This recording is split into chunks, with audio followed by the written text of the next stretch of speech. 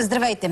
Правителството в оставка обяви днешния ден за ден на национален траур. Повод е смъртта на самозапалилия се Пламен Горанов във Варна. Знаете, той почина след известен престой в болницата, точно на 3 март. Ще си говорим с журналиста Иво Инджев, а, психотерапевт Ани Владимирова. Чакаме в нашата компания и психиатър, и доктор Ирина Лазарова да дойде всеки момент, защото такива неща първо не се случват, слава Богу, често, въпреки че не знам дали мога да използвам тая дума, имайки предвид напоследък какво става в, в България. Ще си говорим и какво може да доведе до такъв акт, какви са причините, какво да очакваме от тук натам. Като казвам, не се случват често, Иво, може би с теб да започнем. В света се оказва, че има само няколко случая на хора самозапалили се в знак на протест в България са вече четири случая за, опит за самозапалване и самозапалване за по-малко от месец. Това е белег за травматичния ефект от няколко поредни управления. Тази травма е от обществен характер, но някои хора се е възприели лично. Много голям въпрос е как трябва да се реагира на това, между другото. И тук нека специалистите да кажат. Аз съм преобладаващата гледна точка, доколкото знаме, че трябва да се тушира, ако щете дори информационно, реакцията във връзка с подобна тенденция, тъй като, Точно, тъй като тя може... свобода на словото, искаш ами, да, да има такава... Аз това казвам, че, че въпросът е спорен, деликатен, а, защото се възприема от психолозите, от специалистите, те ще кажат като, като поощрение би могло да се възприеме за, за следващи желаящи. Така че, действително, въпросът е много деликатен. Обаче ние живеем в една държава, в която бившият министр-председател Луканов беше показан а, в а, вестник Тут с, с, гол на масата за аутопсия, защит по този начин нали, както след аутопсия. И това не само, че се размина на въпросния централен вестник, ами той до ден днешен си дефилира като един от най-меродавните български, а главният му редактор Тошо Тошев да го... Аз, вижте, аз ще говоря с имена днес. Ами ти знаеш, че така много, аз да. радвам винаги. И, и до ден днешен защитава, че е бил прав да го направи. Така че ние живееме в такава е, етична среда, плуваме в България.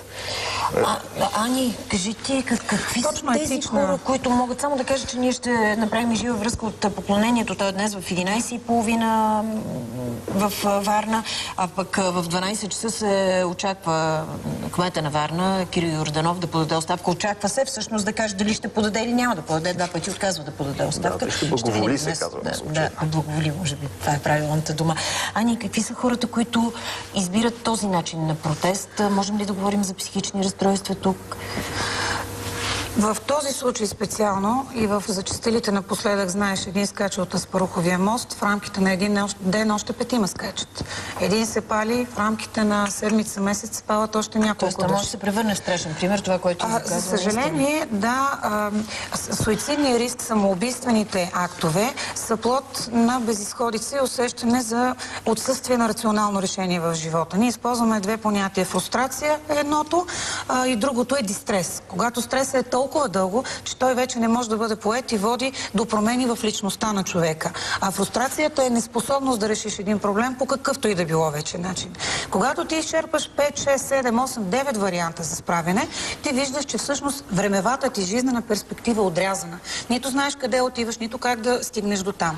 Като прибавиме щипката на западната цивилизация, наречена отчуждение, се получава този ефект. Защото едно голямо семейство, едни хора, с които се чуваш всеки ден и близки, колкото и да загубиш пътя, могат да ти дадат усещане за общност.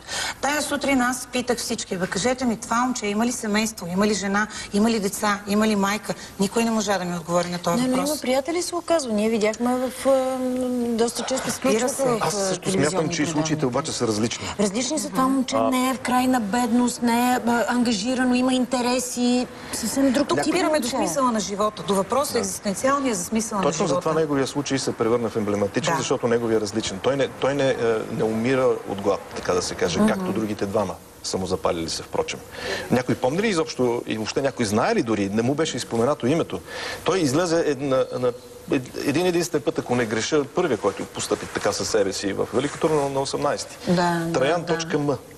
Това е. Питам зрителите. Не, не се изпитваме тук, така да се каже, кой какво помни и знае. си, че Казвам го на зрителите. За... Да. да. Тогава, тогава сработи механизма, един еди какъв си няма да употребявам квалификация, те дори го нарекоха по някакъв начин. Сигурно човек, да, никой не, да... никой не разбра и някакси така мина. А, Но в този случай обаче е много по-различен, защото това не е, фрустрацията не е спрямо собствения му живот, че не може да продължи по този начин, а че общественият живот не може. А че общественият живот не може да продължи повече по този начин. Това е форма, това е протест от друг характер.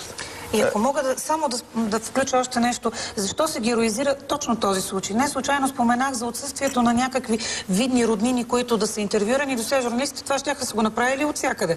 А, защото той попада в ситуацията много добре позната от нашата история. Ако загубя, губя само себе си. Значи той приема една той идея. беше и сравнен с Левски. Именно. е Оттам идва сравнението. Липсата на лична среда и приемане на жертва с съдбата за околните. Освен това, изключително шокиращо е образа на този млад човек. Красавец, в разцвета на силите си, а, занимаваш се с тежък Да. физически труд, а в същото времено интелектуален. Да, а, перформанси, фотография, да. нали, Да. изключително интересна, заповядайте. интересна е личност. Тоест, той е личност. Да. И той, а, тази личност е отишла толкова далече в своето развитие, че чак е надскочила а, обществения гняв, ако щете, защото той го подбуди по този начин. А, можем само да гадаем, разбира се, какво е имало в главата на, на този човек, но да, той действително, искаме ли го ние или не тук в това студио, се превърна в един символ. Символиката на този акт, аз смятам, че трябва да се говори за психичното здраве на хората в момента и за рисковете, на които са Ние изложени. И съм много щастлива, да, че сега имаме да, да кажем лекар. малко повече. Защо се случват вече толкова случаи за много кратко в България на, на самозапалили се хора и още какъв трябва да е човек, за да избере такъв начин на протест? А, Това са много въпроси на куп. Аз мисля, че а, първото, което бих искала да кажа, че психичното здраве а, в България е системно подценявано. Има такава традиция, за съжаление, която е тъжна. А, за него се говори така под сурдинка, някак си се на майтап, има вицове, Да. но а, в сериозния си смисъл той е подценяван. Както като ценности, така и като практика на помагането. Това и с Ани сме говорили много пъти, така надявам се все пак малко да се променят нещата в това отношение, но все пак какви, какъв трябва да е човек за да стигне до такава крайност? Ами, това трябва е, да как да кажа... психически а, проблем или не е задължително? Значи, а, психически проблем е едно много широко понятие, което включва в себе си много аспекти на а, от неудовлетвореността до социалната и психична дисфункция. Нали? Това е един много голям континуум от неща. И аз мятам, че а, определено определени а, кризи в социалното функциониране или цялостната ценностова криза, в която живее в последните 20 години, за съжаление, неминуемо се отразява на психичното здраве и на екзистенцията в психичния смисъл и се получават такива кризисни реакции, които са израз на това, че а, част от общността е доведена до крайност, нали, в която има безисходица и тази безисходица ражда деструкция. Деструкцията всъщност е... Добре, знам, че не може само по това, което се знае да снемете анамнези или както там се казва на това Да, младо момче, но все пак знаем някои неща. Това е човек с интереси, млад, красив, образован, работещ. Успешен в някаква степен. Да, има, може би не е прекалено много, но, но има приятели. По никакъв начин интересен образа му, живот, образа му не се се, не се свързва с образа на неудачника. Точно Дори така. на неудачника. Да. Какво, какво да говорим за отчаяние баща на пет деца? Аз съм баща на пет деца и не искам да си представим какво означава да нямаш с какво да нахраниш децата си. От този по-голям ужас за един родител няма на света. Тогава, колкото и да не ми се иска да го казвам, това не е ли наистина подвиг, за да, да, да, да спре това, което продължава? Това той беше толкова явно това, което казва. Имаше плакат. Да, който обаче беха, се опитаха да потулят. И аз за това искам да поговорим в един момент, ако не съм ви прекъснал. Само какво може да накара ето такъв човек да направи подобно нещо? Ами, причините са, могат да бъдат най-различни, но със сигурност това е една импулсивна реакция, която е под въздействие на силен ефект, който е трупан а, по отношение на неудовлетворение дълго време. Освен това, Пламен така или иначе моята гледна точка е, че е представител на едно поколение на 30-40 годишните, които така или иначе са поколението на прехода. И при тях кризата на ценностите е особено болезнена.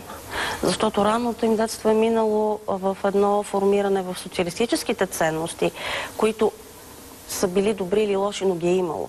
Сега в момента живеем в крах на ценностите и някакси човек е в една безпътица а, в духовен, социален, психичен план. И това може да бъде наистина а, да произведе точно такива деструктивни реакции, които да имат смисъл на протест към кризата на ценностите. И аз затова смятам, че днешният ден на траур по някакъв начин а, би трябвало да се преживее като оплакването на краха на ценностите в България. Извън клетката се живее по-трудно, това е общо известно. Не откриваме ние тази, тази максима. Когато ни отвориха клетката, за много хора това беше а, изключително тежко предизвикателство и не можаха да го преживеят в най-буквалния смисъл на думата. Много хора. Имаше и други самоубийства, не искам да, да ги припомням. Някои от тях бяха чисто политически в началото на така наречения преход, който аз, както минали път казах, се оказа за една шепа хора приход, а не преход. Нали? И, и това, това голямо противоречие, което се създаде в обществото, започна да ражда тези, тези демони. А, искам да кажа обаче защо се получи така. Защо общественото здраве а, се нуждае от а, психиатър така да се каже. Защо? Защото, защото нямаше превенция, защото нямаше терапия, защото, примерно, цял един инструментариум, какъвто инструментариума на медиите, беше отстранен от този целият процес, от обществения разговор. Медиите бяха запушени. Спомнете си, чак сега се появиха лозунги срещу групировката Тим, за което се шепнеше. Когато аз си представях книгата във Варна 2010 година, дойдоха, дойдоха при мен варници и ми казаха как се усмелихте да напишете онази статия. Една статия, да. разбирате ли? Те знаеха варници една статия, която аз собствения си бог съм написал. Статията, да. между другото, излезе в книгата на Юрген Рот а, за а, новите български демони. Тя, тя тръгна и по Европа, защото някой в България се беше усмелил. Един Сугарев също беше написал Иван Бедров. Да. Но знаете ли, искам да припомня нещо много интересно и много важно, че а, когато в Варна се зароди гражданска съпротива срещу Елея Първа, което е ефемизъм за, за групировката Тим, всички знаят. Нали? Опитите за заграбване на крайморската ивица във Варна. Срещу, се... срещу протестиращите граждани се надигнаха кои? Група варненски журналисти. Група варненски журналисти, които написаха декларация на 13 ноември 2009 година, ако не греши или 2008, мога да си погледна в записките, които написаха декларация срещу протестиращите, че им пречели, защото свиквали много често пресконференции по този начин затруднявали работата. И това бяха кореспондентите на 24 часа, на БНР, на БТА. А Велислава Дърева излезе с статия в вестник 24 часа, в която поименно назова кои са готните журналисти, които не са, не са си позволили да харесат Юрген Рот. И тя сложи там себе си, Тадръкова, Кивор Киворкян и, и а, Коритаров, който сутринта направи на нищо Юрген Рот, книгата му така, четейки я, да го хване в крачка. Защитиха Румен Петков. И аз отидах на представянето на книгата на Юрген Рот в София да му стисна ръката от името на малцинството в българската журналистика заради това, че той върши нашата работа и да му се извиня. Че го, защото там на това представяне Велислава Дърева го атакува с книжка и му каза, вие най-пред трябва да се научите да четете и след това да пишете, защитавайки Румен Петков, бившия министр на вътрешните работи от Юрген Рот. Ето за това става дума. Затова стигнахме до тук. Защото това в България е възможно да се случи. Добре, за Тим все пак се говори, не знам, вече. Ами, след като стигнахме до тук. Да, след като стигнахме до тук.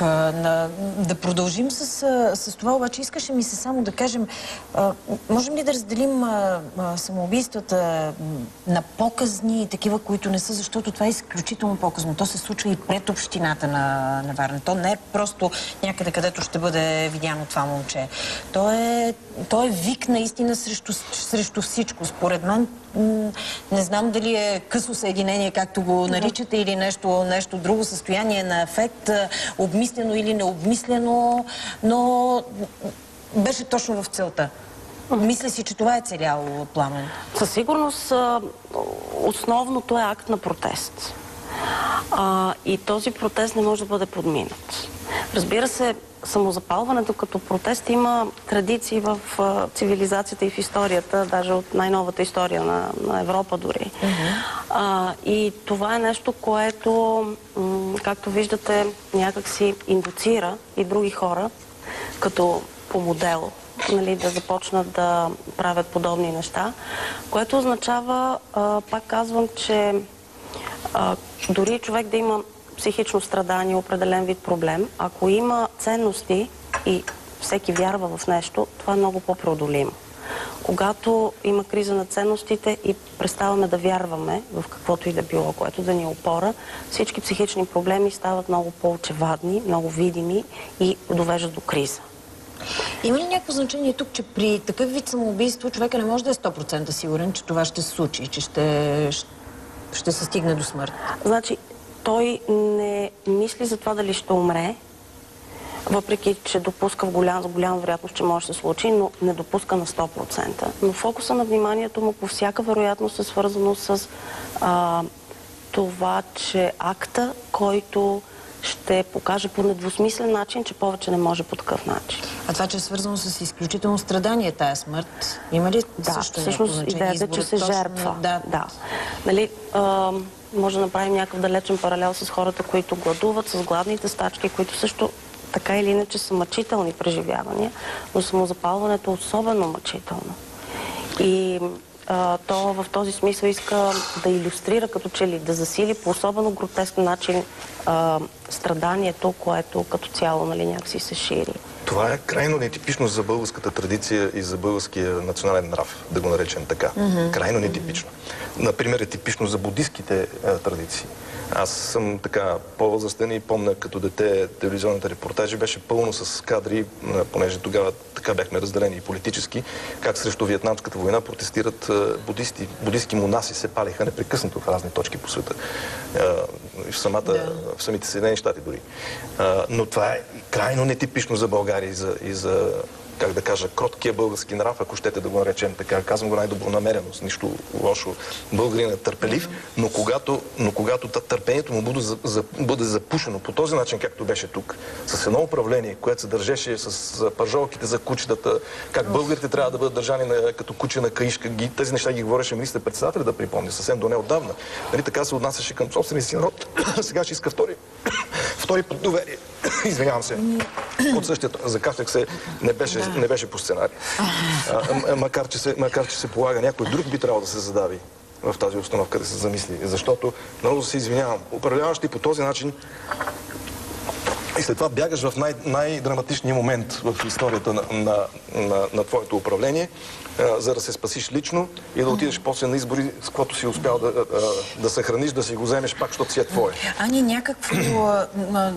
някакъв друг вик извън този плакат, това, което правя, има ли, на който стои за това? Аз не издържам повече, нямам сили, не мога да справя. Или вие сте виновни, в ето вижте какво ще направя, за да знаете най-после да се усетите В какво... началото го казах, но не бива да забравяме, че и семейства избиваха децата си и какво не се случи в а, знак на отчаяние и на безпътица и безисходица.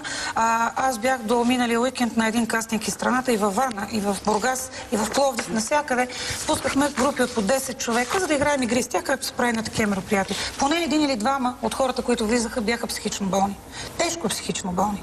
До състояние западане на личната хигиена и неадекватно поведение, което означава, че като цяло процентната дезадаптация на хората е огромна. Ясно е, че причината за това е липсата на решение в живота, липсата на ценности, най-вече и основно, защото хората са жи- преживели чума, глад, болести, войни и не са се избивали в тия размери, но тогава е имало Божията заповед, според която единственият непростим грях е самоубийството. Имало общността, имало идеята, която води хората. В момента ценности и движещи сили действително няма до голяма степен. Кога най-много в жизнен план се извършват самоубийства? В юношеството и в ранната зрялост. Когато човек се пита добро или лошо, това са самоубийства от любов, от неразбиране, Да, знаеме, да, че те са най-чести. Това означава, че нашето обще- общество е върнато и регресирало на ниво юношество, на липса на смисъл на добро и на лошо. Чисто символично. Абсолютно вярно и това е вярно като, като характеристика за обществото ни. Ние по някакъв път се, така да се каже, самопровъзгласяваме, понеже сме били древна нация, там наричали сме се България от теди кога си, че- черпиме от, от тези корени някакво самочувствие, но всъщност ние сме една много млада нация. Така да, ме, А, на ниво пък има и отношение на демокрацията- вяра, надежда, Ето сега че виждаме това. могат А да... по- Ние можем на да романтизма. нещата, По да ги отношение на демокрацията сме си направил един тежък побратет, който, за съжаление, сега в една късна фаза се проявява по този начин, именно поради вината на родителите, на така наречените бащи на нацията. Ако щете, дори онези, които направиха Конституцията, които ужасно бързаха да направят правят именно те, защото ние бяхме, мисля, че е ставало и друг път дума, бяхме единствената държава от бившите сателити на Съветския съюз, в която бившата компартия направи Конституцията, макар и е, наречена по, по нов начин. Това също е интересно, нали? А сега е, всички се чудят откъде идвали звените и какво било в Конституцията, защо така не било позволено това и онова било разрешено. Ами тая кружка си има опашка по някакъв начин, нали? Само, че за това трябва да се говори. Освен това, аз също така не съм съгласен, тук няма да успеем в рамките на това време, да се говори само за тия 23 години преход. Като че ли преди това не е имало и самоубийство. Ми Петя Добарова, какво е? Да, това е също един много ключов пример. Една, а, и въобще всичко дошло изведнъж в резултат на демокрацията станало всичко толкова кофти. Извинявайте, корупцията на времето се наричаше връзки. Някой помни ли това, че без връзки нищо не се постигаше в България? Включително на ниво санитарка в болница се даваха по 5 лева, за да помете на, на, на болния, който... Така че това не идва всичко на, на, на празно място. Ами откъде дойдоха мутрите? Да не би да си ги внесахме от Америка случайно? М? Откъде дойдоха те? Те бяха възпитаници на спортните училища на социализма, които като се разпуснаха, защото вече нямаше държавно субсидиране, някой ги организира.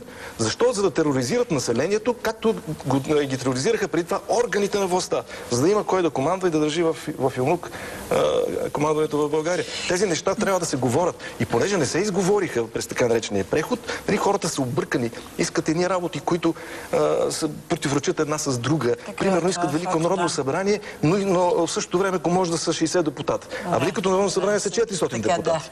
Нали? Това е обратно едното на другото. Трябва да се въведе, между другото, и с това Но неграмотността също е резултат в българските училища трябва да се въведе предмет обучение по демокрация.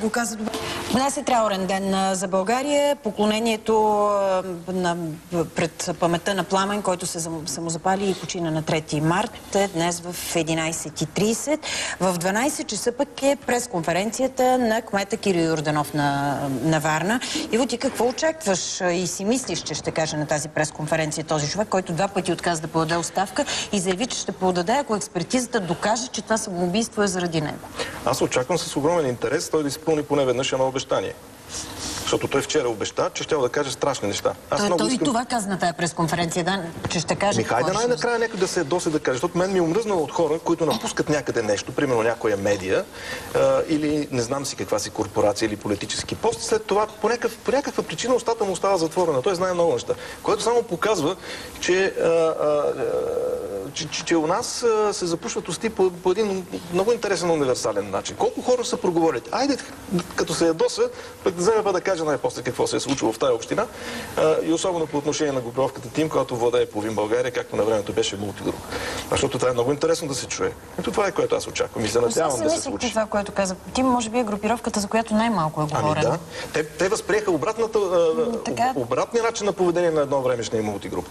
Защото мултигруп на времето с извинение пред моя тогавашен приятел Соломон Паси, буквално си купи, да речеме, Атлантическия клуб. Затова аз го напуснах. Защото започнаха да дават някакви страхотни коктейли с раци, с какво ли не. финансирам всичко от мултигруп. А, да, така беше. Те, те залагаха на другата крайност. Мултигруп беше навсякъде. Купони, веселби и така нататък. Тези по-хитро избраха другата тактика тихо, тихо и подмолно. Нищо да не се казва за тях. А нищото нищо. Затова и аз споменах книгата на Юрген Рот. Това е човека, който изкрещя за групировката Тим във Варна и в България. Е, и го нападнаха... пламен по един тъжен да, начин. И го нападнаха, но... грозно български журналисти го нападнаха. Аз ги споменах поименно, няма да ги повтарям. Ти каза, аз преди мъничко, докато вървеше реклама, ти казах, моля те кажи нещо, което да ни даде малко надежда и как, какво е справено. Ти каза, още повече демокрация. Ами, а, а, дефицита на демокрация се лекува с повече демокрация. Това обаче не означава анархия, нали така, така си да. говорим. Защото демокрацията е строго спред всичко. Строго прилагане на правилата и придържане към правилата. Това, разбира се, много трудно да го кажеш на една разнородна група хора, която аз никога не наричам тълпа, защото гражданите имат право на протест. А, и аз го уважавам и затова и ходя между аз тях, между другото. И не се притеснявам да се появя на такива, на такива места, за разлика от 99 на 100 от така наречения разпознаваем разпознаваем, даже не искам да го нарека елит, защото ще излезе част от себе си. Причислявам, говоря за разпознаваемите физиономии. Нали? Защото като си разпознаваем физиономия в една такава аморфна маса, може да те разпознае някой с пречупен кръст на главата, какъвто аз там примерно видях. Нали? И аз вода тези битки и с едните, и с крайно левите, и с крайно десните в своя блок от, от 5 години не съм, защото искам да кажа, че аз протестирам всеки ден от години наред. Има някъде близо 3000 лични протеста в блога си. Да. И всеки, който е влизал. Да, но не с камъни, а с думи, които обаче... Това е твоето оръжие, ти си журналист. Да, които държа да не хвърлям на вятъра. И затова, когато имам малко възможност да, да, кажа, да кажа нещо, искам да, искам да съм много конкретен. И затова говоря с имена, говоря с, а, а, с групировки, и, и с факти, и с дати, дори понякога и с часове, тъй като списването на този моя блог, където генерира 12 милиона посещения за 5 години, е денонощен труд. Когато човек се самонаеме, по някакъв път това е по Да, да, но независимо дали някой тук е забелязва това, чужди безплатно. медии го забелязват, Ами, така вижте, че... Аз още написах едно писмо на Нели Крус. Искам да го кажа не за друго, а защото това беше също е- е- един модел. Нели Крус, а, е, която всъщност е вице-премьер на правителството, отговаря за цифровизацията и комуникацията в европейското правителство, дойде в София по един друг повод, но така иначе ние група журналисти написахме писмо, искам да припомня този епизод, а, с молба за среща. А, Между тази група журналисти бяхме блогърите, които впрочем в Брюксел бяха споменати от Оливие Базил, председателя на Репортери без граница. А, при едно обсъждане на проблеми в българските медии, той казва, в България истински независими са само шепа блогъри. Така, и ние взехме И повод от това и написахме на Нали Крус писмо, като иначе шепа блогъри, е, плюс други журналисти, за, с искане за среща. И какво стана? На масата на срещата с Нели Крус седнаха собствениците на медии, плюс Николай Бареков. Този, а, искам откровено да го кажа, нахалник, нали, чието, чието място не е там, защото обслужващия персонал на властта. Добре, ма среща все пак трябва да има достъп, може би и другите Някои медии. такива като мене Да. постояхме първостоящи си тръгнахме отвратени. И затова аз вчера и написах лично писмо. Ще ми бъде интересно да видя да- да- дали тя ще отговори. На мен ще бъде интересно да връзка кажеш какво е отговорила. И с това докъде се е стигнало в България, благодарение на запушването на обществения диалог, на обществения дебат, с огромна вина на медиите. И аз чакам да видя, някой ще поиска ли оставки на главни редактори. На несменяемата Ведения Гочева, която не само, че нещо ни се случи, нали, ами отгоре на всичко я повишиха. Сега тя вече е шеф на всичко. И на 24 часа, и на труд. Коли и Деси а, в, а, в двата най-славни вестника на прехода, които имат своя принос в кавички за всички са маскари и налагането на тези лозунги, които, разбира се, децата на прехода попиха. Не знам на, дали на ще белия се- лист на съзнанието на детето, като му напишеш всички са маскари хиляда пъти, какво ще повтори то като порасне? Всички Не са знам дали маскари. Това го да виждаме на улицата. В какво? Това го виждаме на улицата. Ами тези вестници изиграха тази роля. Иво, не знам дали трябва дали ще се случат тези оставки, но днес се чака една Няма кой оставка да им ги е пуска. на Те са несменяеми. Министри Йорданов. падат, правителства падат. Тези са същите. Повишават ги. Искам сега да Корпорациите видим ги пазаруват и ги издигат.